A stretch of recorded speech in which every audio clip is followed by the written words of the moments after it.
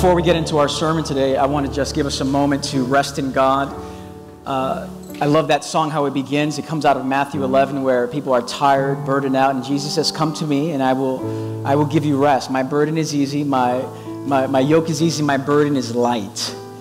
And so I imagine in this room, some of you are coming in with some anxiety, with some worry, maybe about your health, maybe about your job, finances, maybe about your marriage or your singleness.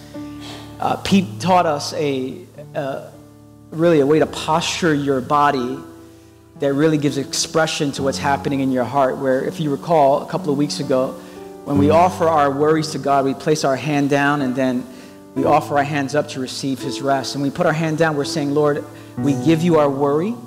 We give you our, our fear. We give you our disorientation. We give it to you. And we want to receive your grace and receive your peace. And so, if you're really, if, if your soul feels worried today and fear and exhaustion, I want to invite you just to put out your hand this way here as I pray for us before we hear our, our message today. And just to give it to Jesus, to offer that to Him. No need for you to hold it. He says, Cast your burdens on Him because he cares for you. And so, Father, during our, this time of our service here, our gathering, we offer you our worry. We offer you our fears. We offer you our exhaustion. Lord, we offer you our confusion. We offer you our sickness, our pain, everything, Lord, that we've been holding on that's been a burden to us. And Lord, we, we give it to you. We offer it to you, Lord. And Lord, in exchange, as I want to invite you to open your hands uh, with your palms up. In exchange, Lord, we receive your peace.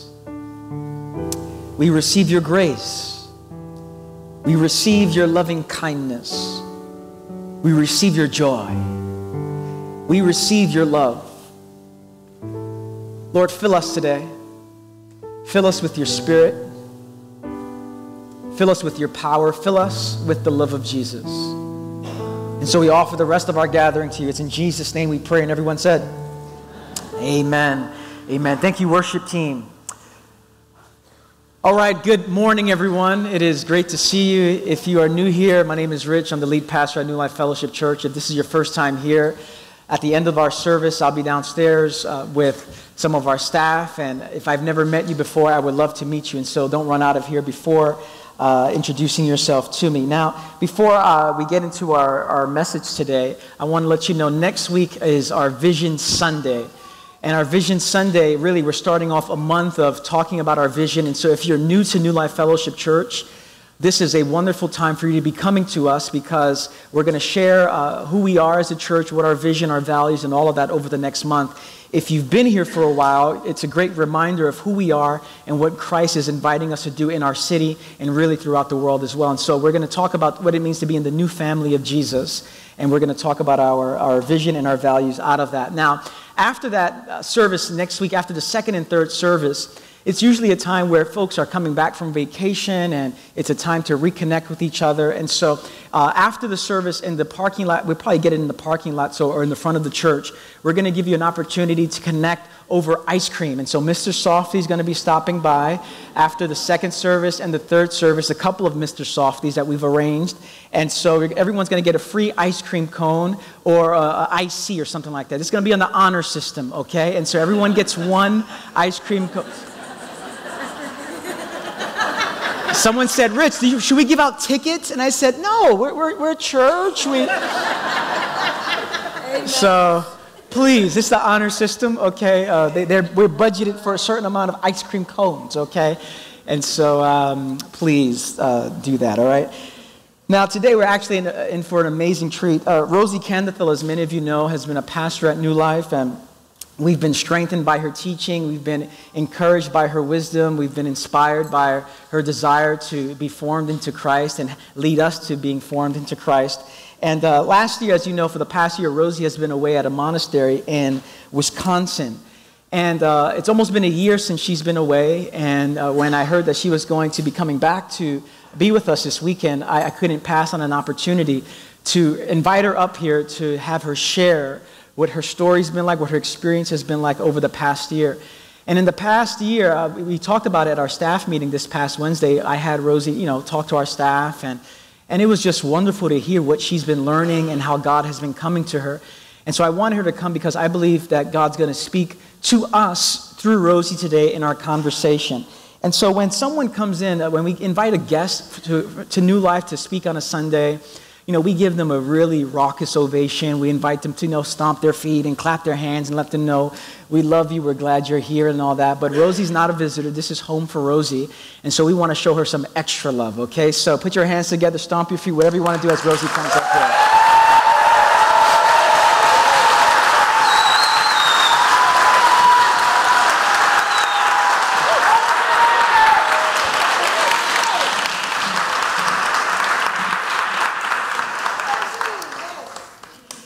Yes, all right. Well, uh, today we're going to talk about living a, a monastic life, and uh, next week you'll hear more about that as well. Uh, but at New Life, when we say we are a monastic community, that simply means that we are called to slow down to be, uh, to be with God in community. And our world, as you know, is a world of frenzy. It's a 24 7 culture. We live in the city that never sleeps in New York. And so we're invited to a new kind of rhythm of following Jesus in the world.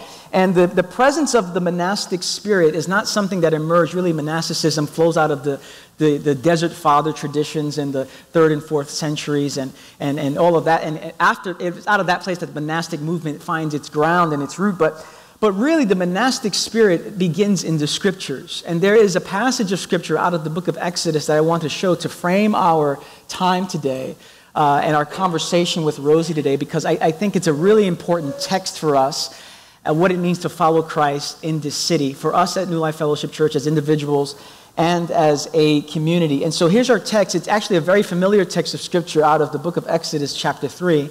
If you've seen The Prince of Egypt, you know, if you haven't read the book of Exodus, you've seen The Prince of Egypt, the cartoon, you know the story. It's a story about Moses, who uh, was called in to be with God in the, in the desert out, out, you know, he was in, in Egypt. He, he lived his life as an administrator. He murders someone and he leaves Egypt and he finds himself in the desert. And it is in the desert, which is really the, the metaphor for our, our a deep formation in Christ that we're going to talk about today. It is in the desert that Moses meets God. And so hear the word of the Lord out of Exodus chapter 1, uh, chapter 3, beginning verse 1. It says, now Moses was tending the flock of Jethro, his father in law, the priest of Midian. And he led the flock to the far side of the wilderness and came to Horeb, the mountain of God. There the angel of the Lord appeared to him in flames of fire from within a bush. Moses saw that though the bush was on fire, it did not burn up. So Moses thought, I will go over and see this strange sight, why the bush does not burn up. When the Lord saw that he had gone over to look, God called to him from within the bush, Moses, Moses. And you want to know today that God is calling your name directly. All of you in this room, God knows you by name, and he's calling you today. He's calling you by name Moses, Moses. And Moses said, Here I am, which is essentially the response that God is looking for us. Every single day, God calls your name, and he's looking for three words for us Here I am. That's the invitation of following following God in this world here. And so then it says, Do not come any closer, God said. Take off your sandals, for the place where you are standing is holy ground. And he said, I am the God of your father, the God of Abraham, the God of Isaac, and the God of Jacob. And at this, Moses hid his face because he was afraid to look at God. Then the Lord said, I have indeed seen the misery of my people in Egypt. I have heard them crying out because of their slave drivers and I am concerned about their suffering. So, go, so now go. I am sending you to Pharaoh to bring my people, the Israelites, out of Egypt. Now, this is a, a foundational passage to the monastic life and what it means to be called uh, to this kind of life. Uh, as at a local church and as followers of Jesus. And, and I want to show you just a couple of things here that frame our conversation with Rosy. And I wanted you to see that in the book of Exodus in chapter 3, the desert really is a metaphor in, in the Bible for a place of encounter. And so the desert, number one, is the place of encounter. Moses leaves Egypt. He leaves the hustle and bustle. He leaves the crazy lifestyle of Egyptian culture. And now he's in a new place. He's in a desert place. And the desert is the place where he meets God. And the desert is the place where we meet God as well. The desert is a place of encounter. What you also notice is that encounters happen with God, that happen with God tend to happen in the context of silence and solitude. Moses is in the desert.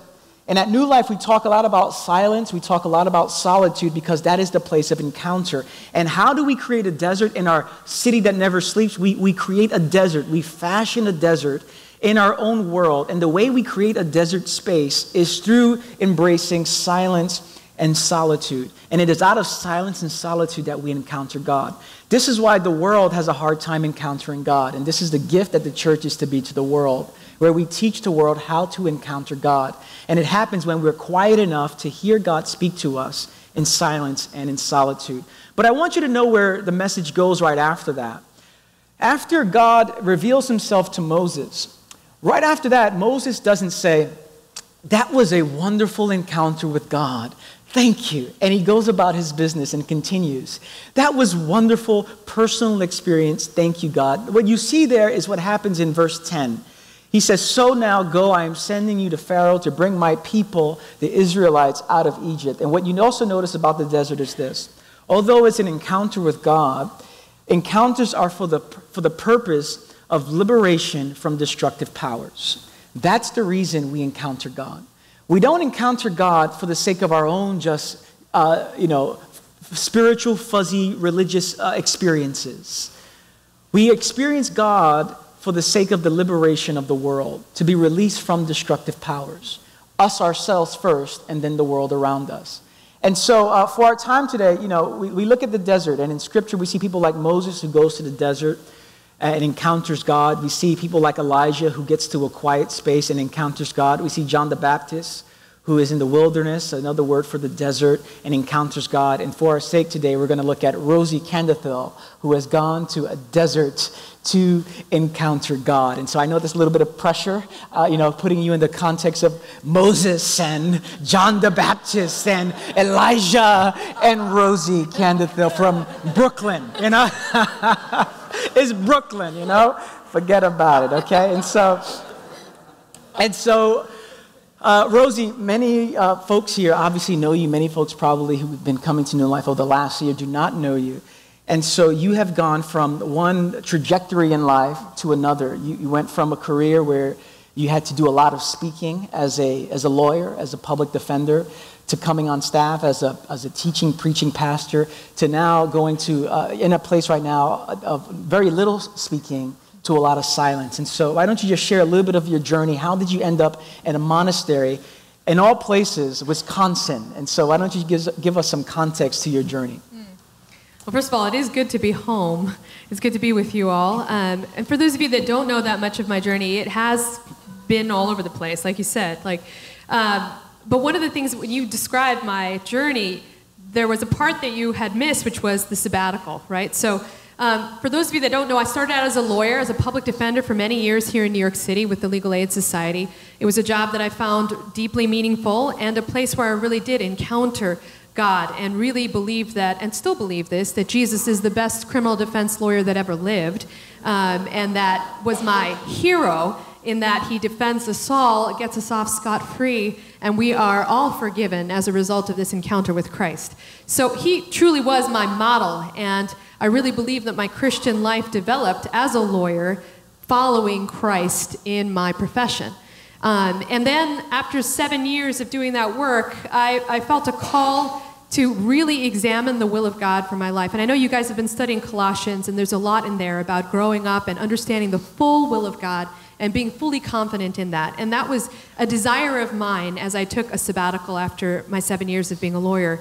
And the prayer specifically for me was to if God wanted me to be a criminal defense lawyer for the rest of my life, I wanted to be the very best lawyer that I could be. And I had spent already 10 years, three years of law school, seven years of my profession, trying to become the best trial lawyer that I could. But I wanted to make sure that if, if this was the call, I was going to give my whole life to it. So during that year, I met with a spiritual director. I took time off. I spent time in silence and solitude. I spent time really trying to develop my life of prayer trying to listen for God's still small voice in my own life. And during that time, I actually, as, as you know, at that point, at the end of my year, I, I entered into pastoral ministry here at New Life Fellowship. You guys became my home, and my context, and my community for living out my call here. And so you've been a really intimate part of my journey. It was only after this year of being here and being a pre- preaching pastor here, and my title, as you remember, was Pastor of Contemplative Arts.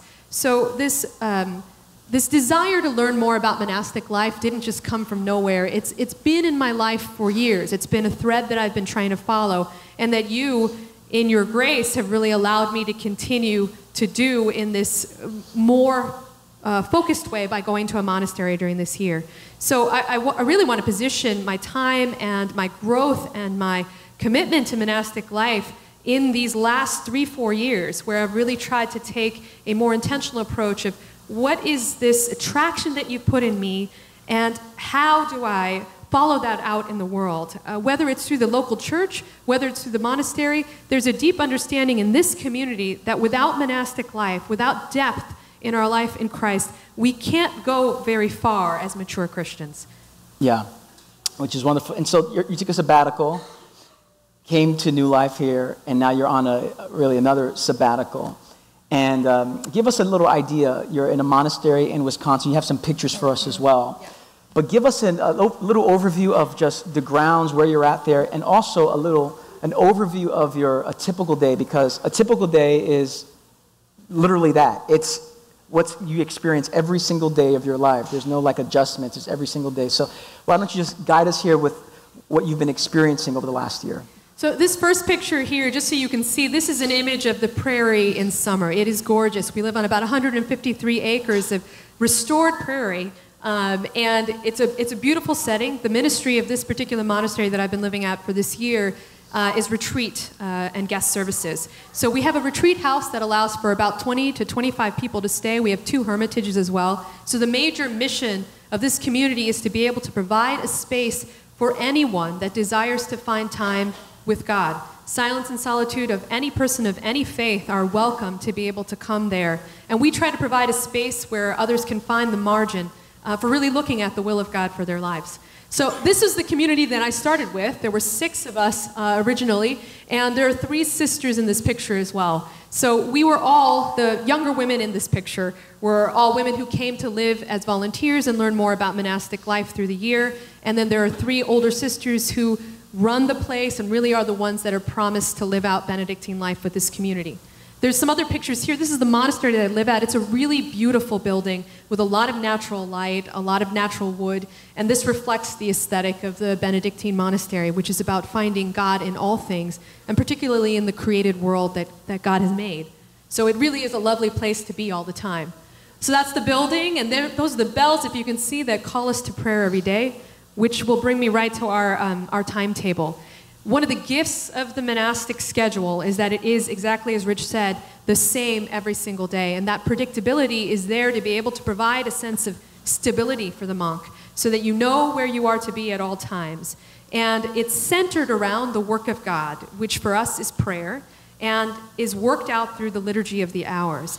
So our schedule works like this you wake up on your own, and this is every single day, probably around 5, 5.30 in the morning, so that you have your own personal time with God. And this is before you go as a community to morning prayer. Morning prayer begins at 7.30 a.m., and it's a silent period of meditation from 7.30 to about 8 a.m.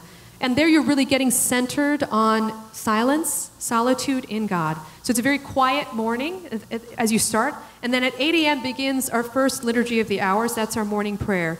We use a book we read from the Old Testament. We also sing, and so we do an old sort of, uh, it might sound old, uh, monastic chant. We do psalms as well. And so it's a time to center ourselves on the story of God and listen to scripture together and offer some prayers for the world, prayers for the people that are coming to the monastery, and prayers for any concerns that anyone in the room has. It's an open time of prayer, so retreatants and the promised members of the community are all there in the morning. At 8:30 we meet together and that's called a chapter meeting where we run over the work for the day, whatever those tasks might be. Uh, I want to see if I have a picture of that. Um, some of the tasks involve um, the garden. So for the spring and the summer, um, we farm a lot, which has been a real surprise for a Brooklyn girl.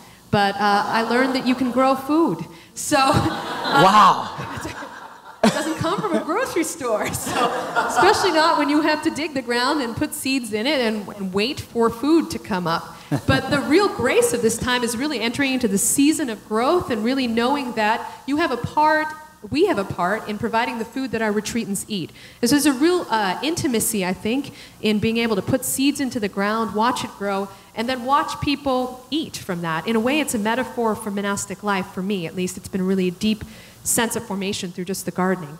But anyway, so at 8:30 we meet, we talk about what we're going to do for the day, if it's the garden, if you're going to be turning over rooms for guests, if you're going to be helping with the meals, if you're going to be doing dishes, whatever it is. We go over that and then we go to our work at 9 a.m. Then we pause at 11:30, uh, and that's to prepare for midday prayer, which starts at 11:45. So that period of stopping from 11:30 to 11:45 is on purpose as well, so that there's a moment for you to transition from work to prayer. And the, the, the sort of the heart of that is that we're reorienting our work, reorienting our lives around the work of God, which is prayer for our community. We stop at 11:45. There's a reading from the gospel. There's again some sung psalms and a reading. So we have a little time of prayer, and then we go to lunch at noon.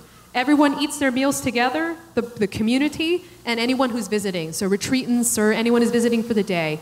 And so we eat our meals together. The conversations, too, are a way to be able to encounter Christ in our life there. And that's a very important theology for Benedictine communities, which is that every guest is to be treated as though they are Christ. And we do understand and believe that, that the Spirit of God is in all people and in all creation. But to have a theology that bases even the meal that we share together, where I'm sitting across from Rich and I'm really having an experience of Christ being embodied across from me. And as we eat together, this dining table becomes a communion table in that sense. So even the meal has this sacramental, sacred approach to it that I find uh, just incredibly moving, and it can really transform your day to have a meal that way. After lunch, we go to another two hours of work and then we pause at 3 p.m. for a period of reading or study. Benedictine life, also one of the pillars of it is study and reading. So we read scripture or we read um, some sort of book that we're studying during that time. Then at 4:30 we have our next prayer, our evening prayer. And that is a sung prayer, and we usually read from one of the epistles of the apostles. And uh, we sing some of the psalms, we do a prayer, and then we have another period of silent prayer until about 5:15. After 5:15, we all go to dinner together. Again, we practice this sort of sacramental eating of understanding that the guest is Christ. So we listen to the conversation that way. We eat together in the presence of Christ and honoring Christ in our food and in one another. And then the day is pretty much over. We have time for conversation, recreation, whatever that is, and then the grand silence at 9 p.m. So, and that's really a way to be able to sort of end all conversation and return to the silence that, that this life really sort of circulates around. So that's our day. Every day. Every day. So, so when are you doing status updates on Facebook yeah. and? Not so much. So technology has really been a challenge, actually, and they've given us, and so as a sort of concession to the idea that technology is an important part for of people staying in touch with one another and being connected with one another. We have one hour on Monday for technology time. Uh, do you go crazy during that hour? I'm like, oh. I've never been more efficient with my. this monastery is changing too because of the way that technology comes in. But yeah. I would be going nuts during that hour. I was just like, um, what I love about what you just said is what we talked about two weeks ago, where in the book of Colossians, Paul says, devote yourselves to prayer. And the way that uh, I taught that a couple of weeks ago was that just wasn't uh, pray when you get, it, get around to it. It was really ordering your life, your daily life, with rhythms of prayer. And the prayer that I asked you guys to pray, or really a prayer that you would pray, was Lord, give me desire and discipline to seek you more and more. That throughout the course of the day, we're pausing to be with God. Just like Rosy's doing in the monastery, whether for five minutes, whether for 10 minutes, whether for 15 minutes, uh, as part of your rhythm in following Jesus. Now, you've been doing that for the past year, like, I mean, every single day, and you have the benefit of the community, you have the benefit of the bells to remind you and call you to that. But what has that meant to you? Pausing regularly every day. Uh, what has that done inside of you? What has that meant to you? Has that been challenging as well to pause frequently like that? I mean, that is truly the gift of living at a monastery is that the whole community is oriented toward this center, which is Christ. and all work comes from our, our, uh, our understanding that prayer fuels our work and is our work, right? So that really is a gift, right? So everyone is moving toward the times of prayer together. Everybody sort of has an understanding of that. So that makes the monastery a place where the encounter of God is encouraged in the daily and in every moment. And so uh, I've been using this analogy actually, and I think it works. But I've been, I've been talking about this picture of a sunflower. I don't know if you've seen a sunflower, but um, the work of the prayer that stops us in the morning and in the afternoon and in the evening this way, eating our meals in this way where we are encountering Christ at every, at every occasion, it's like the sunflower that's able to sort of open itself up to the light and move just a bit to reorient itself at every moment. And in some sense, the sunflower is wired for that, right? Its cells are made to respond to the light in that way. And I get the sense that our Christian life is the same, that in our DNA, something deep inside of us in our spiritual lives is made to orient ourselves to the light. And this is really when we are at our healthiest, this is when we are growing, and it's in this sort of subtle orientation to God that I think the work of God, the prayers, really change the way that you see time, work, and relationships. Mm. So that's the real, I, I think, incredible value of being in a community where everyone is stopping at the same time for prayer and you're giving yourself the opportunity to reorient, to, to let your sort of self say, where's the light in this situation? Where does my story connect to the story of God in the world? And, and where am I experiencing that and how can I get closer to that? Now, has that been, since you're at a monastery, has, has that been easy for you to stop regularly like that, or have you experienced some challenges on that journey. Yeah, definitely. I mean, it's not easy to stop. I mean, that's. I, I hope that's not an illusion of the monastery. Uh, it, it, although there are things that make it easier, as in the bells and the fact that the community is moving together toward these things, there is of course the natural kind of tendency. I'm. I love work. Like if you give me work to do, and I, I had a little bit of work to do, like it's amazing how quickly I can become engrossed, engrossed in that task, and feel an irritation even, especially during midday prayer. Midday prayer I find to be the most challenging of all. Um, and so you're in the middle of a work period, you hear the bells go off at 11:30, which means that you drop everything and start transitioning to midday prayer, right? And so there's a, a real challenge, I think, when I experience that irritation, which is I'm in the middle of this amazing sentence for my blog that needs to go in in these two weeks. If I don't write this down right now, it's going to go. What am I going to do, right? And and yet the whole community is moving toward prayer. And so I have to drop the pen, I have to drop that brilliant sentence, and I have to say, it's time to go to prayer. And in that small discipline, you get to the oratory, you start praying, and the gospel is being read, right? Because midday prayer is really powerful there's always a gospel reading, and when we read the gospel reading, we're given the understanding that it is Christ Himself who addresses us. So everyone rises from their seat when the gospel is being read. We turn our bodies toward the pulpit in the front, and we listen to the Word of God addressing us directly. And I can't even tell you, just in that subtle reframing physically, of getting up and of standing and of listening to the Word of God being addressed to you in the middle of the day, it humbles you. And you realize whatever that sentence was that you were working on, that you were irritated about going to prayer, suddenly is like, oh, right, this is why I'm here. It is Christ speaking to me in my work, Christ speaking to me in my time. Christ is here. Mm. I can let that go. Yeah. and then I can move toward the rest of my day with a sense of, like we were singing, the unforced rhythms of grace. Now, give us some help here because a couple of weeks ago, I invited us to this kind of light. Now, it sounds radical, it sounds crazy, and indeed it is for our culture to pause a few times a day, to reorient ourselves, to recenter our, our hearts and our minds here. And uh, last week, as I mentioned, I asked someone uh, after the second service, actually, how have you been doing with prayer? Stopping. And, and she said, you know, the first two days I was, I was doing great, pausing two, three times a day, and then my mother got on my nerves. And, and, and because my mother got on my nerves, I just couldn't pray anymore, Rich. It was just so hard for me to pray again. And so, and so those things come our way, like irritations in that respect. That keep, what would you say to us? Because I think it's, it's critically important as a church that we continue to move deeper in this way of daily offices, pausing. What would you say to us here who we don't have the benefit of that community, that tight community? Like that, like you have. We don't have the benefit of the bells, although we can put bells in our iPhones and everything like that. What would you say to us as we are moving towards that kind of prayer two, three times, sometimes four times a day?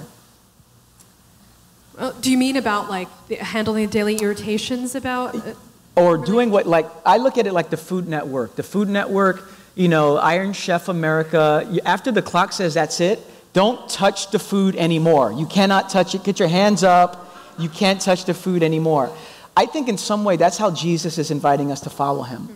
That, that our hearts would be so aligned to his presence and who he is that when a particular time of the day comes, that we stop what we're doing to be present to God in a very intentional way.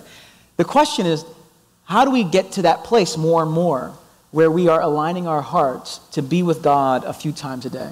I think you've hit on the right point, right? I mean, there's, there is a point that as a Christian you realize that your life in Christ perhaps began with an attraction to Christ, but at a certain point, your disciplines need to catch up to that as well. There is a certain inefficiency to prayer. I mean, there just is, right? I mean, it's not as efficient or productive to stop in the middle of the day when you're in the middle of an engrossing task where you're being productive in your work to actually stop requires at that point a discipline, right?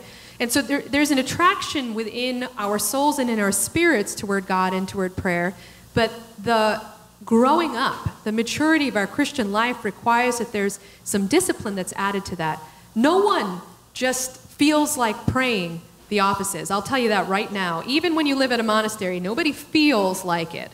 We do it because we've made a promise to do it to ourselves. We believe that this is our discipline and this is our call. So, you know, whether I feel like coming to midday prayer or not, that's not a question. That's, that's me putting my feet where my mouth is. That's me putting my feet where I believe my heart should be, right? So I am moving in that direction because I mm. want this and I need this and I know this is the only way to get it, right? I mean, it would be as silly as an athlete saying, I, I I'm only going to run when I feel like running. Mm. I mean, that's not going to get you very far. You, yeah. You've got to not only feel that attraction, but you've got to add that discipline. And as mature Christians, I know you've been studying Colossians 2, and you've been, you've been looking at what does it look like to grow up in Christ? What does it look like to put feet to my intention?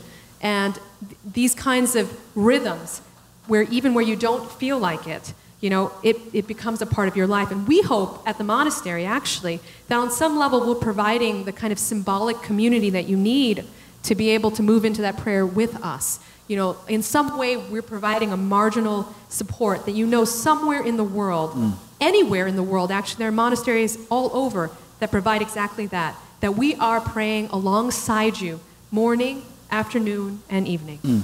And that's great, and which is why, and I love how Rosy just connected the attraction to the discipline, which is why really praying that prayer, Lord, give me desire and discipline. I think that's a prayer that God loves to, to answer, and God will begin to, to do that in us. Now, you've been in a monastery. What, what has been most challenging for you in Wisconsin, uh, which is different from Brooklyn, I hear? Uh, what's been most challenging for you? Uh, I mean, the winter's pretty bad. I don't know if you heard about winter in Wisconsin, but there were days during the winter that were like, like the high degree was a negative number. So we could definitely use your prayers during the winter. But I mean, the, the, one of the major things, I've been quite honest about this, is like last week when I was here at New Life, like I had this glimpse of the beauty of the diversity of this city in New York. And it's easy when you live in a place like this you know, to get on a subway car and not notice the fact that you are sitting with every nation, tribe, and tongue right there. You know, and it's for me this week as I've come back, I have come into a new sense of the gift of places like this, where we live with one another in all this different diversity, and we live in peace. I mean, for the most part, we live in peace with one another, and that's a, that's a great gift. Um, one of the challenges of being in a community like Madison, Wisconsin, is that it's not as colorful as a congregation like this. So I am often the only person of color in the room. I, you know, so and that is a, a bit of a rub for me, having grown up in a city like this, having maybe taken for granted the kind of beauty that comes out of living so closely with so many different people. I can tell you that after this year, I will never take for granted the gift of New York City as being part of my DNA. It was a place that raised me and that changed me to kind of hope and know that this is what God intends. And the other challenge, the major challenge too, is we live in a very rigid kind of timetable, and we live in a very small community in Wisconsin. So there are only three sisters at this community that are promised, right? The rest of us come in for a period of time. Most of the people that come leave, right? So here's a very small community, and the challenge really is I'm living with you daily.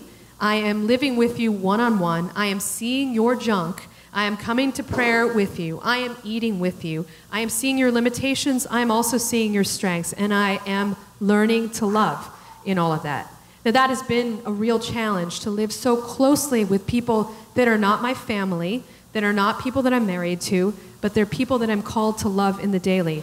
And that's been a gift and a challenge, right? Because that's, that's who we are as Christians called to do, to love one another. And so, in this kind of very intimate and intense relationship, we learn to work out our faith with one another. So, are you, are you saying that even folks in the monastery have issues? Like, yeah, yeah, I hate to burst the bubble, but these are normal people. It's, it's deeply encouraging, actually, that even Sister Joanne has had 60 years of monastic life, you know, 60 years of life, right? And she's a normal person, you know? So it's good to get under the covers and see that monastic life is not an automatic fix. We're all learning how to live more loving, more holy, more, more open lives. Like, yeah, so it's, they're all real. wow. So, um, what I want to spend the rest of our time with uh, uh, today is to talk about discernment. Now, last week, as we closed the book of Colossians, one of the, the key points out of that letter to, that Paul wrote was that we would be filled with the knowledge of God's will, uh, with, this, with spiritual understanding that the Spirit gives. And all of us in this room, we have decisions to make large decisions, small decisions, but many times at various parts and seasons of our lives, we have to make big decisions. Whether we should marry or not marry, move or relocate, stay, take this job, uh, go to another job, what have you. And so the, the idea of discerning God's will, which is issue, people want to know what's God's will for my life. And, and we wrestle with that, don't we? We wrestle with what, God, what do you want me to do?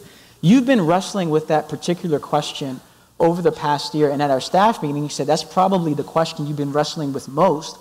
God, what is your will for my life? And so, what have you learned about discerning the will of God, which is quite a question that we all want to uh, get right to some degree, and we want to live faithfully out of that. What have you learned over the past year about that particular question?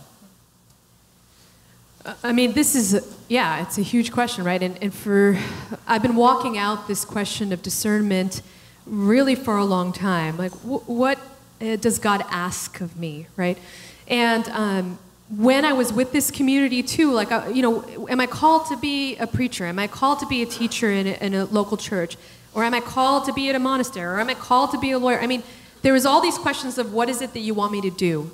And yet, during this year at the monastery, I found my orientation changing so that the question that I thought I was entering the monastery with is, you know, God, what do you want me to do? Do you want me to become a monk or do you want me to become a pastor, right? So it's sort of like these blocked kind of questions like what is it what is it that you want me to do the question began to shift for me as i began to realize that we all share as christians the same calling we all share the same will that god wants for us which is this to love god with all your heart your mind your strength with all that you are and to love your neighbor as yourself and that is essentially our calling whenever you are doing those two things you are doing god's will so, in a sense, like during this year, there was a deep renewal of our freedom in Christ.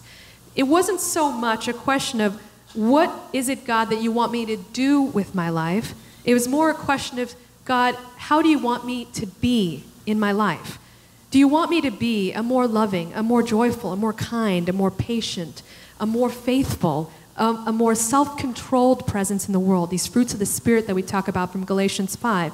How then do I create a shape for my life or choose a shape for my life that allows me to live into the gifts of the Spirit? So that where I'm experiencing love, joy, peace, patience, kindness, goodness, faithfulness, and self control, how do I orient my life toward those things so that I can be more like that, so that I can be more loving? And that, to me, was an incredibly freeing experience in my discernment. Mm. It allowed me to experience the freedom of life in God that it isn't so much controlled by the work that I do. I mean, Rich started off this interview with talking about Moses, right? If you look at his life, it was all over the place in, in terms of what he should do. He started out living in Pharaoh's palace at the top, you know, at the height, in the penthouse suite. And then he gets, he kills someone, you know, and is running from the criminal justice system out in the wilderness. And then God calls him, and then he comes back to the city, right? And then he's sort of going back and forth. And he was a shepherd for many years. He was probably a scholar for some of those years. Like, who knows what kind of work he was doing? And yet, he was able to move from all these different contexts, still following the will of God. And there's something to be seen, I think, in that picture of Moses, and then also in the picture of our own lives. Is we take all kinds of different paths to do all kinds of different things, but the essential orientation that God desires for our life is love. And wherever we are more loving, mm. more peaceful, more patient, more kind, and more joyful, mm. this is where God wants us to be. And what God wants us to do is orient our lives in that direction. So it's not so much the place where you're working, or it's not so, so much the, the profession that you choose. It's, it's this orientation, I think, that becomes essential to the mature Christian life. Mm. So this year of discernment for me wow. has really opened up a new level of my life in God. I, I am more free than I ever have been, you know, in terms of choosing how to live out this life. And yet I feel a greater sense of clarity toward making those things a reality in my life. So there's a, a growing discipline too, that I'm, I'm, I'm paying more attention to where these things are coming up in my life and in the daily. I love what Rosy said because um, we are oriented to ask the question, Lord, what do you want me to do with my life? What decision? And what you're saying is, that's not the primary question we're asking. The primary question is, Lord, who do you want me to be? Who, what, what's the kind of person that you're calling me to be? And is it safe to say that it is out of that place that there's a perhaps a slow unfolding of God's will for the particularities of this is what you want me to do? Is, is that I think that's very, and I think again, I'll connect that to this, these times of prayers as well. Is how else are we to know how to be loving presences in this world if we're not following closely to the model of Christ? Where are we to get this kind of formation and instruction if we are not daily dipping into Scripture and being with one another as as presences that are loving, right? Where, where do we learn that other than in, in God mm. and deliberately dropping ourselves into God at every opportunity and deliberately looking at one another as you sitting across from me are Christ to me at this moment, you know? Where do we get that kind of formation other than by choosing to do this? You know, yeah. it doesn't just yeah. happen. Martin, I believe it was Martin Luther who said basically what you're saying in this sentence. And if you don't really grasp it, you'll miss it. He goes, Love the Lord with your heart, soul, mind, strength, and do as you please. Uh, do as you please. And if we're loving the Lord with our heart, soul, mind, and strength, to do as our please doesn't mean we're going to do whatever we want. It's going to be our hearts are so connected to God that we want to do God's will. We want to do what He wants to do. Uh, he wants us to do uh, for Him and, and all of that. So uh, you've been in this process of discernment. So uh, wrestling with God over the, uh, you know, fighting with other monks in the monastery and everything like that. At least that's the kind of vision I like to get. Rosy's like fighting with monks and everything like that. Um, but where have you landed? Where, where, what's the next step for you on this journey after being almost a year at this monastery? Yeah, I mean, this is the hardest part, I think, for me to share with you all, since you, you are, in a great sense, my home and my family of faith. And you have been a, a part of my daily prayers every day at the monastery. As I've kind of grown through this year of discernment and really this question of, of God, how do you want me to be in the world? I feel more and more this attraction to monastic life, and not only an attraction, but a deep belief, understanding that this is a way that offers life to many. Um, there is a saying that monasteries provide oxygen to the world like trees provide it. They just sort of stand still, they look like they're just taking up space, but they provide air for hmm. the rest of the church. And so I've come to hmm. deeply believe that the relationship between the monastery and the church is an essential one.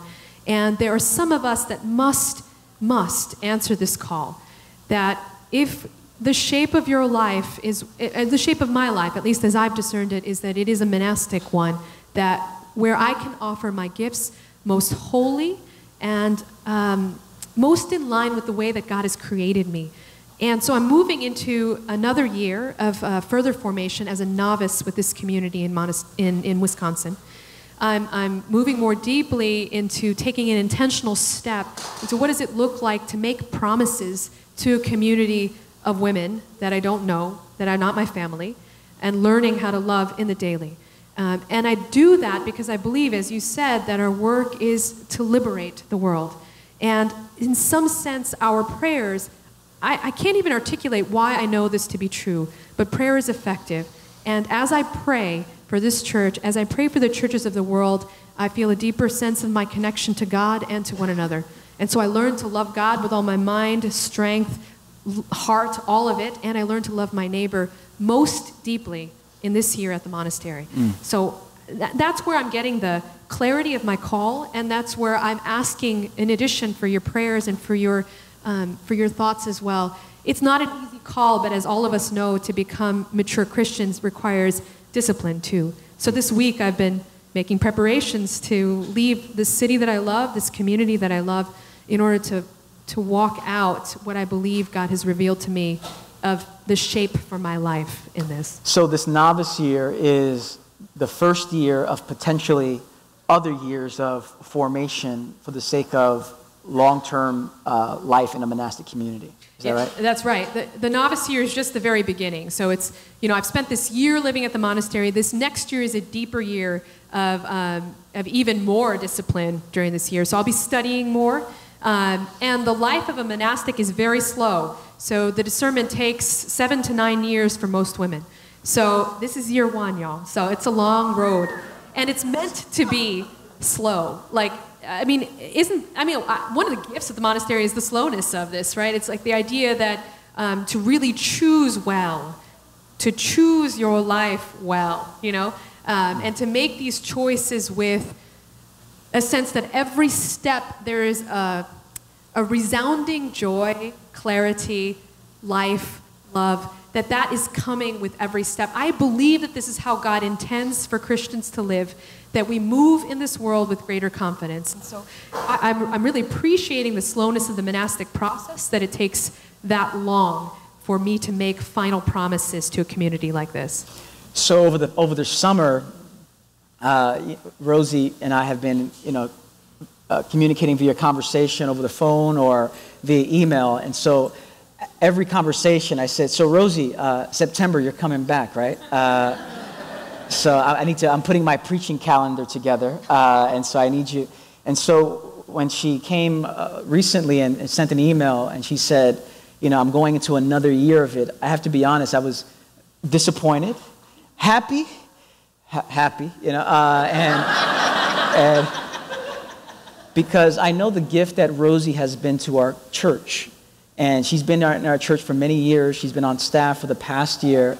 And you all tasted something of, of who she is and what, she, what God is in her through her preaching, through her teaching, through her small group leading, through her contemplative services.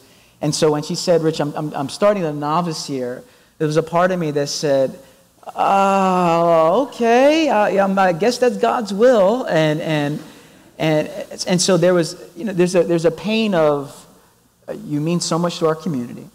But at the same time, there is the liberty and the freedom of, this is where God is calling her. And uh, for the, minimally for the next year. And who knows how this all unfolds? Only God knows how this will all unfold. But we, what I do know is that we are in a relationship with Rosy long term that we love Rosy, that Rosy is part of our community. She's a gift to our community here. And so, however, God unfolds this and unpacks this in the year and years to come, you know, she is part of our family here. I'm going to talk about our, the family of Jesus. She's part of our local family here at New Life Fellowship Church. And so, um, I'm excited about where God is taking you, Rosy. I really am. And I'm excited about, uh, you know, where we are going as a church as well. And Jerry said something after the first service and I, so I really reframed the perspective where Rosy said, You pray for us every day. You pray for us as a church specifically every day, for our staff every day. And Jerry mentioned what a gift that is. And for me, as I'm in, my new role as lead pastor, and I'm thinking, wow, I have someone in Wisconsin that is praying for me, that's praying for our church. It is what a gift to have. And so, although she's not here teaching and preaching on a Sunday morning, she is praying and interceding for us as a church. And that is a tremendous gift that we have for us here and for the sake of the world as well. And so, Rosy, you are a gift to us. Thank you. We love you. Uh, put your hands together for Rosy.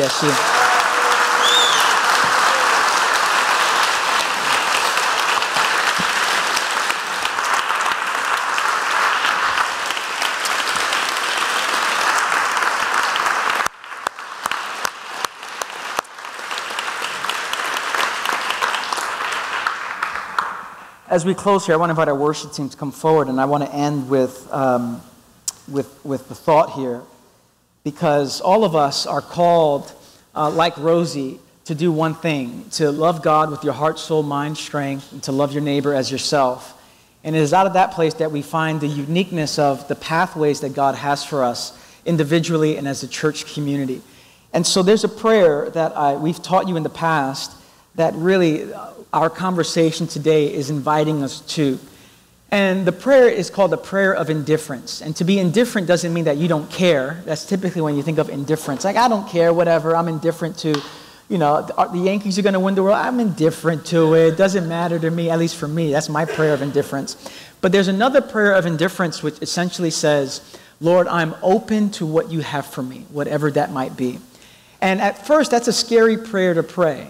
Lord, not my will, but let your will be done. That's a scary prayer to pray because we have a view of God that God wants our lives to be miserable. And if we pray that prayer, God is going to send us places and make us do things that are going to make our lives miserable. That's not the God who Jesus reveals. The God who Jesus reveals is a God that, although it might be difficult, it's good. His will is good for us. And so we want, I want you to, uh, together, I want us to pray, Lord, not our will, let your will be done. Not my will, let your will be done. That's the prayer of indifference. And what Rosy has been doing over the last year is essentially that Lord, not my will, but your will be done. And Moses is our character that really forms who we are today because he's in the desert. And we, in order to pray, not my will, your will be done, you need a desert. You need a place of silence. You need a place of solitude.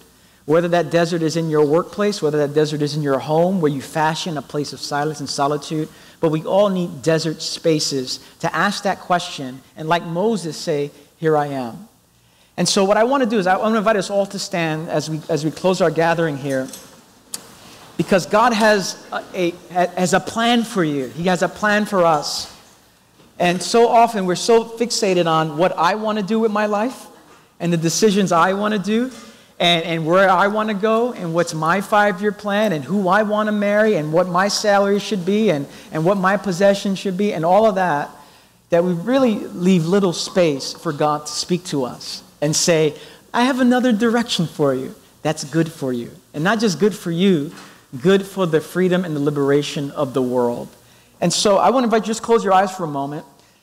And to God, maybe you want to just pray, Lord, not my will, but your will be done. If that prayer is too hard for you to pray because you're not at a place where you, you, you, you can trust God in that way, maybe you want to pray the prayer, Lord, help me to pray. Not my will, but your will be done. And so let's pause for a moment, then we'll have a song of, of, of just of worship back to God and we'll close our gathering. But let's just pause for about a minute praying that prayer, not my will, but your will be done. And my marriage and my singleness and my career and my, the place that I live. Lord, not our will, your will be done.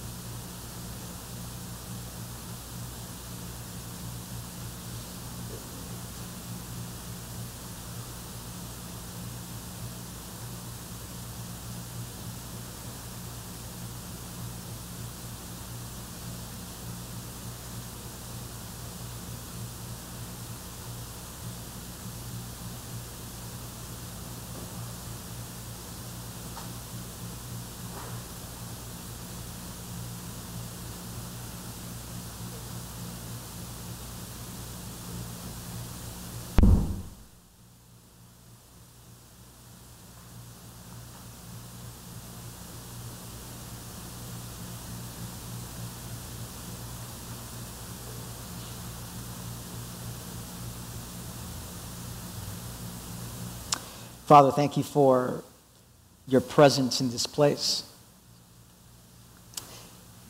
And Lord, our prayer is that we would have the courage and the confidence to say, not our will, but your will be done. And so, Lord, give us the courage and the strength to actually say that and pray that. Because your will is good. And where you want to take us, Lord, is, is good and it's really the place where our, our deepest desires and our deepest hearts, where we long to go. And so, Lord, now we sing to you words of worship, words of praise, words of gratitude. Thank you for Rosy. Thank you for the gift that she is to our community here. We sing to you now. It's in Jesus' name we pray. And everyone said, Amen. As we close our gathering, I want to invite our prayer team to come to my right. We have the Lord's table to my left. Where we take bread, we dip it in a cup, we are reminded that Christ was broken and bruised for us uh, so that we might enter into his wholeness, his healing, his forgiveness, walking into his rest. And so you can come up to receive that. And to my right, we have our prayer team. And so if you're at a place right now, you're wrestling with the will of God, you're trying to figure out what God wants for you, you want to enter into his rest, you can come up for prayer for whatever needs you have uh, in your life right now, and we would love to, to pray for you. Uh, Rosy will be downstairs in the lobby area, so if you want to hug her and, and say hello to her and thank her for everything she shared today, you can do that downstairs. But as we close here, I want to invite you to open your hand towards heaven to receive a blessing and walk out of here with the favor of God resting on you, the love of God and the grace of God resting on you today because He loves you with an everlasting love and He wants to lead you in the way that you should go. And so, with your hands in a posture of receiving, brothers and sisters and sons and daughters of the living God, may the Lord bless you and may He keep you. May He shine His face upon you and may He fill you with peace. And may you walk out of this building in the power of the Holy Spirit with the courage to say yes to His will, with the courage to pray, Not my will, but your will be done, Lord. May you encounter God in a desert space this week. And in that place of silence and solitude, may, may He give you uh, who He is, His message, His word, to offer those around you the liberation their hearts deeply desire. And so I bless you all today in the strong, in the beautiful, in the resurrected name of Jesus. And everybody said, Grace and peace, everyone. Have a great weekend. Great day.